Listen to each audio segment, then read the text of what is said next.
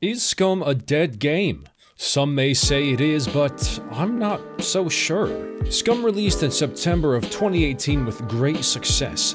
It had an average of 18,734 with a peak of a huge 68,031 players. However, despite this initial success, the very next month the numbers were slashed.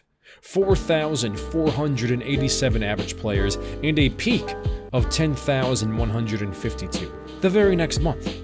The game population continued to dwindle down to 1,541 players in March of 2019, and since then has been bouncing between 2,500 to 3,100 average players. Not bad. So, given these rather dismal numbers comparatively to their initial launch, why would I say that the game perhaps isn't dead? Well, because it simply isn't. The developers have been releasing consistent updates and as of March 6th have announced they are hosting a podcast, I believe it's called the Scumcast, with content creators such as Enderilhu, Dream Reaper Gaming, John Blaze Live, and KMZ Kamikaze. They also made it a point to ask their community which private servers are the best, and they said they'll make a post about them to give them some more visibility. Another important factor to note is that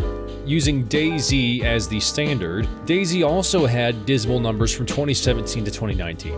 Most of that time, DayZ didn't get over 3,000 average players for two whole years. Their numbers were suffering drastically, and yet the game was revitalized and the last 30 days have had an average player base of 18,000. So all of this information begs the, the question, if DayZ was able to survive a drought of players, why can't Scum? I, for one, think that Scum, if they continue to involve the community and update the game consistently, it could be one of the biggest games of 2020, at least of the survival genre. The only real threat I see to Scum and DayZ coming this year would be games like Dead Matter and perhaps Deadside is also getting some traction. I would say Withstand, but I have played it and it is just not in any state to compete with any currently released survival game, though it does have promise. Scum offers a wide variety of things that the other games simply don't. I mean, everything from the character model to the environment and how that looks is just very different. It's a different vibe. You know, you don't have zombies, you have puppets. You have your prisoner on an island with giant mech robots, and you can even find a stinking disco club hall thing, and it's just really random.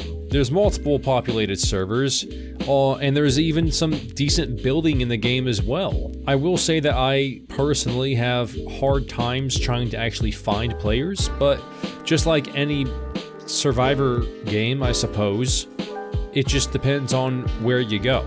Not every inch of the map is going to be populated because everybody who plays the game knows where the worthwhile spots are, so it's no surprise that a new player going into Scum will have the complaint that the map is too big, or they just can't simply find anybody. But that by itself does also beg the question, is the map too big that Scum has? Because if, if there's only a certain amount of locations that other players are deeming worthwhile to travel to, therefore the rest of the map is empty, what's the point of the rest of the map? Sure, it decreases the amount of PvP and it increases exploration, but for what purpose? Because people Though they like the surviving and they like the exploration, they love the player interaction more, I think, because that's where the difference comes into these kinds of games that separates it from just a regular FPS, or in Scum's case, a third-person shooter.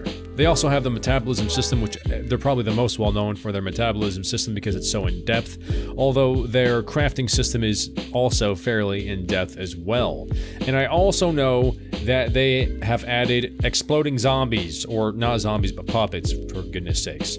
These puppets will now uh, explode and hurt you within a certain radius, and so you need to shoot them quick, and you actually need to look at the puppets to verify which one's the bigger threat. Is it do any of them have bombs? You know, are they big and juicy chunkers? Or are they little skinny guys that can chase you forever? You might be able to run away from a big fat one, but the skinny fast ones, they will probably chase you forever and blow up, and you're to end up looking like Two-Face from Batman. But anyways, guys, this is my opinion. I do not think Scum is anywhere close to dead, though I know for a fact it's not anywhere near as popular as DayZ, and it's not anywhere as popular as the initial release date of the game, but what game is. The game is simply in hibernation, I think. And this hibernation, the game will either die in its sleep, or it will wake up vigorous with hunger and devour a whole bunch of new players. But what do you guys think? Do you guys think that the game is dead? Do you disagree with me? And if so, I want to know your thoughts. Leave them in the comments below. Be a part of the discussion. What are your experiences with Scum? Do you have issues running into players as well? Do you think the map is too big? What do you think of the building system? All these things I want to know from you guys. And also, I want to know what servers that you guys actually enjoy playing on, because I'm trying to kind of get into it a little bit, but it's kind of hard whenever I can't find anybody. So let me know all the tips and tricks and info and what your thoughts are in the comments below. And if you like scares, survival, and scavenging, consider hitting that subscribe button, hitting that bell button, and I will see you guys in the next one. Path out.